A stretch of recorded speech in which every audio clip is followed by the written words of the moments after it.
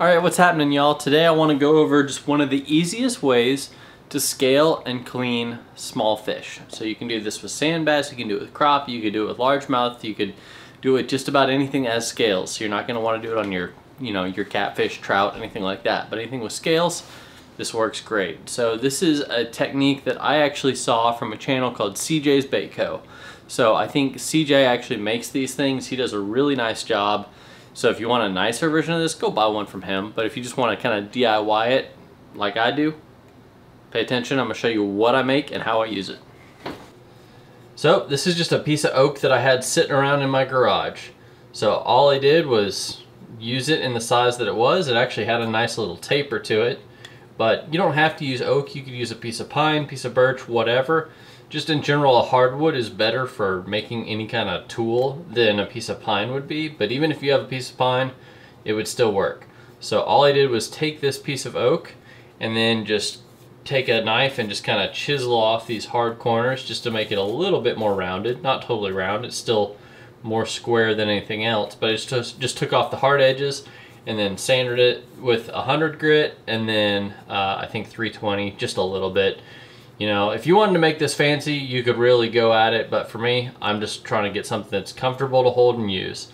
Now, because I am using this around water and around fish slime and all that stuff, I did oil it so that it will repel water and not just soak it up like a sponge. So standard woodworking fare, you use boiled linseed oil, mineral oil, something like that. But because I'm using this around food, believe it or not, I just used olive oil. Probably not the best thing to use for this, but you know what? It works. It's going to repel that water, and it's safe to use around food. So avocado oil, canola oil, anything like that probably works fine too, but I just used regular old olive oil. Now we're just going to drill two little pilot holes.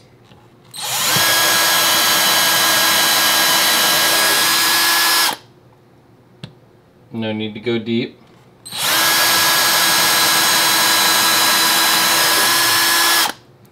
Now I already punched holes in these bottle caps. This is from just a Shiner Light Blonde, kind of one of my go-to, but obviously you can use whatever the heck you want. And then I'm just going to take a small screw. These are actually countersunk. If you could use just a regular head screw, it'd probably be a little bit better. So I'm to just find my hole in the, the bottle cap. Find the hole in the wood. And just crank her down.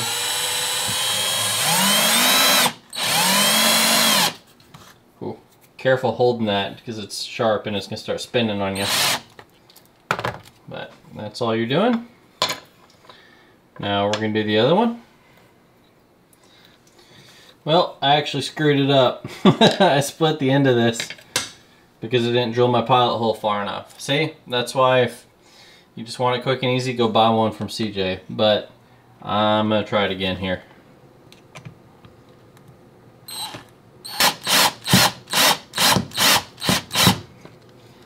Alright, last time I think I didn't drill my pilot hole quite far enough, and then I also kept cranking on it, and that's why I split it.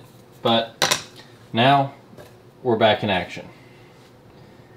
So, this is nothing more than a handle to hold on to, and then some nice scalloped edges to scrape the fish with. And these grab the scales really well, and they don't send them flying nearly as much as using a knife or a fork or even the open end of a spoon.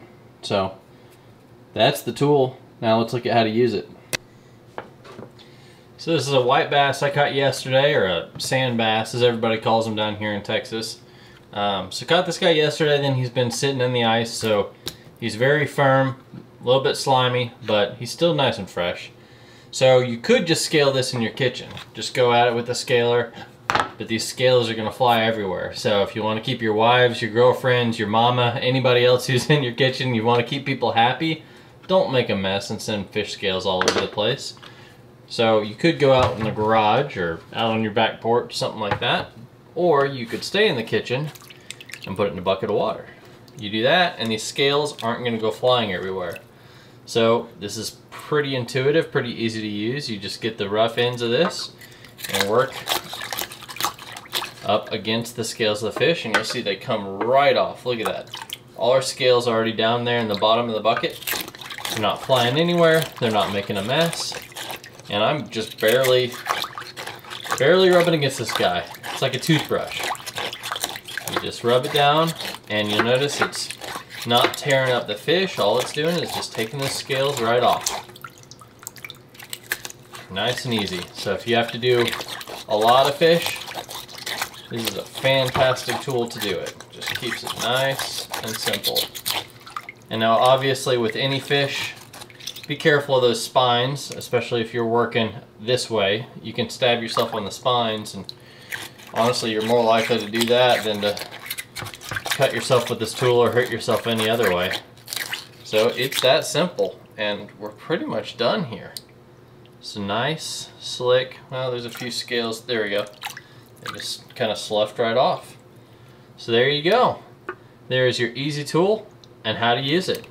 Hope this comes in handy next time you go out there and catch a mess of fish.